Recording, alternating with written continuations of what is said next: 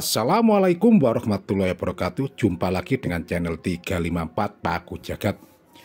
Buat rekan-rekan netizen di mana pun berada Yang sudah subscribe channel ini. Dan selalu setia serta mendukung channel ini Saya ucapkan terima kasih. Semoga diberikan oleh Allah rezeki yang melimpah Kesehatan dan panjang umur yang barokah. Di sini saya mau mereview Honda Beat CBS 110 keluaran terbaru sekarang ada alarm anti maling guys motor ini yang baru dirilis atau edisi terakhir seperti ini cara pengaktifan alarm Honda Beat 110 sekarang lebih aman.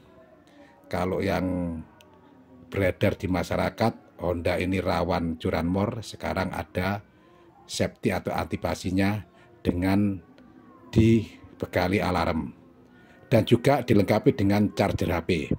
Motor ini juga menggunakan mesin berpendingin udara atau kipas. Rem cakram dengan kombi brake system yang mana kombi brake system itu apabila direm kiri maka depan belakang mengerem dengan formasi 30% depan 70% belakang dan juga dilengkapi dengan handbrake atau handrem. Fungsi dan gunaannya apabila motor diparkir, jalan menanjak atau menurun, maka motor tidak akan bergeser. Nanti cara aktivasi alarm remote anti maling di Honda Beat ini, ikuti video saya hingga akhir biar tahu cara aktivasi mengoperasiannya alarm anti maling di motor Beat terbaru. Kebetulan ini tipe paling standar ada tipe DX dan tipe Smart Key. Itu saja review dari saya. Terima kasih.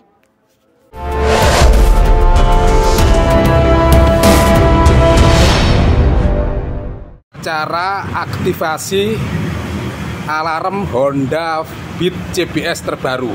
Jadi motor Beat ada alarmnya kayak seperti ini guys.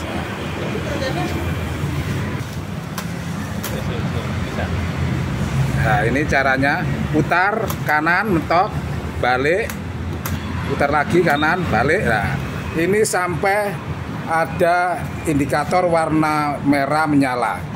Tunggu kurang lebih satu menit maka alarm akan aktif guys. Inilah tampilan Honda Beat CBS terbaru yang sudah dilengkapi dengan alarm anti maling. Jadi lebih canggih guys BCPS terbaru. Nah, setelah lampu indikator sini mati, maka fungsi alarm sudah bisa. Apabila motor digoyang, maka alarm akan nyala guys seperti ini guys. Inilah tampilan Beat terbaru yang sudah dilengkapi dengan alarm anti maling.